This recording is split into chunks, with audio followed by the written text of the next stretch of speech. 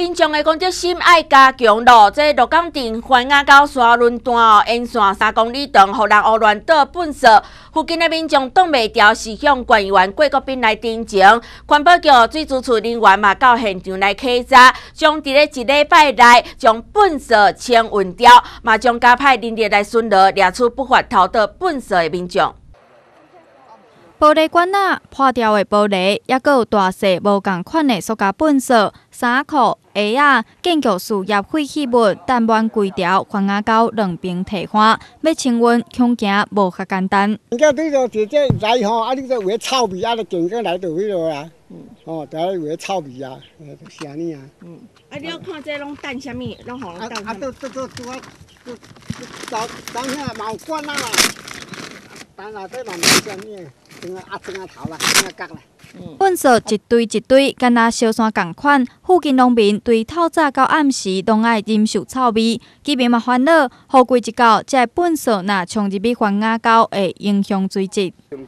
啊，这这这都啊，都都有看伊嘛。你你这你你这嘛无处理哦，哎，拢暗暗哦。居民实在挡袂牢，向官员郭国斌定情，邀请水资处环保局会勘商讨研究办法。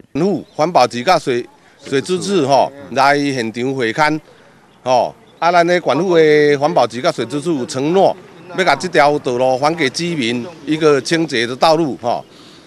啊，服务处嘛，透过服务处的关系，甲当地派出所哦协调，来加加强巡逻。哎，马上启动开会契约哈，来办理这个提案的一个清清除哦，杂草清除跟那个乐乐色的一个清除，不用招标，我们都已经招标完了，嘿，都招标完了，马上都有了哈。厂商又来吧，我们厂商又请厂商过来，嘿，厂商在那边，嘿，厂商有过来哈。对，我们在讲。